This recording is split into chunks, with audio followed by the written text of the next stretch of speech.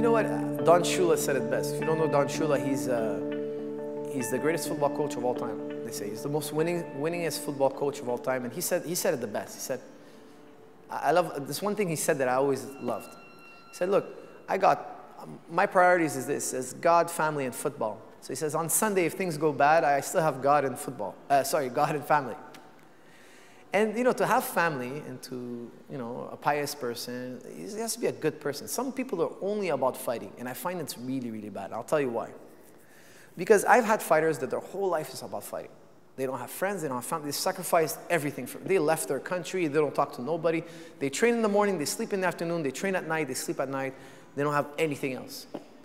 But what happens if fighting fails, which you're gonna have a failure here and there, it's so psychologically damaging because it's the only thing they have that training now is a, is a chore, it's a stress. It, there's so much pressure.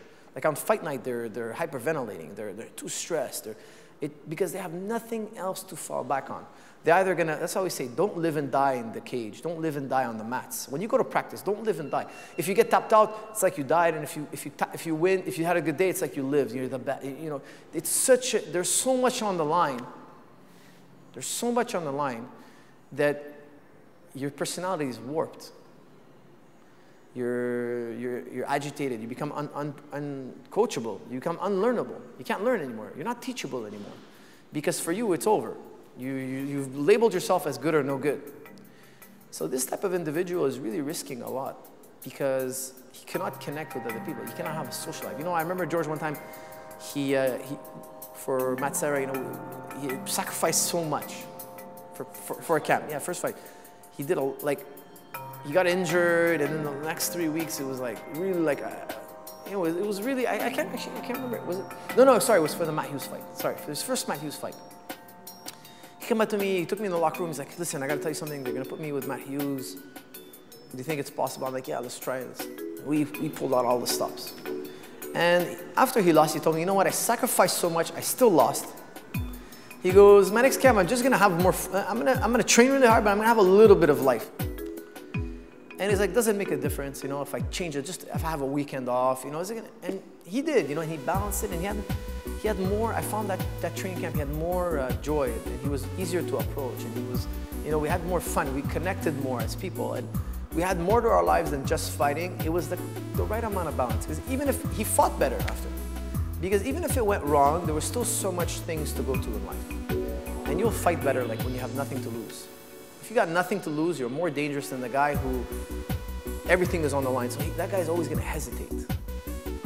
That guy's personality is to be hard to deal with. That's my opinion on that.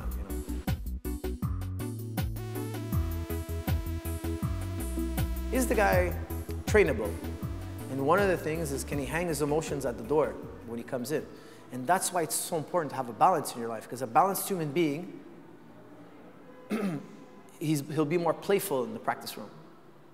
You know, if you can approach, look, think about, think about how many hours you have to spend on the mat to get good.